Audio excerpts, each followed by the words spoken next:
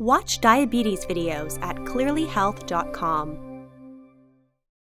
As a person with diabetes, it is important to test your blood glucose regularly so you can prevent or delay the problems that come from having diabetes. Your healthcare provider can help you choose a meter that is best for you.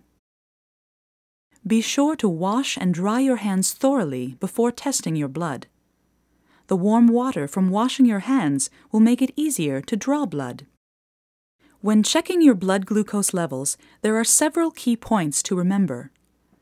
Check your levels at least four times throughout the day. Check before and half an hour after every meal. Prick the side of your finger instead of the finger pad. It is recommended to keep a daily log of your blood glucose levels, recording the time you tested it and the result. Share this information with your healthcare provider so you can better manage your blood glucose levels.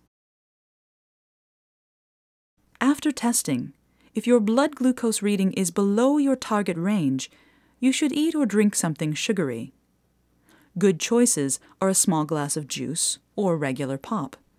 15 grams of glucose in the form of glucose tablets, or 6 lifesavers. Check your blood glucose levels 15 minutes later to ensure that you have met your target range.